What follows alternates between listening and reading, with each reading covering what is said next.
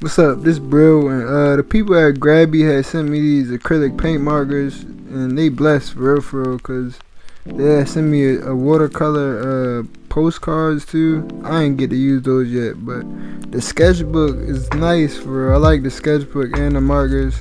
I was just experimenting in my sketchbook, just having fun for real. I was staying loose. I, um, this is my warm up from this morning for real. So I was using spray paint in the sketchbook. I was using like watercolor crayons for certain parts. I was just like painting random shapes, doing little doodles. I, this probably the first time I ever drew uh, Mr. Sick teeth for for. I usually have him with like the swirl mouth for real. like you know the hypnotized emoji.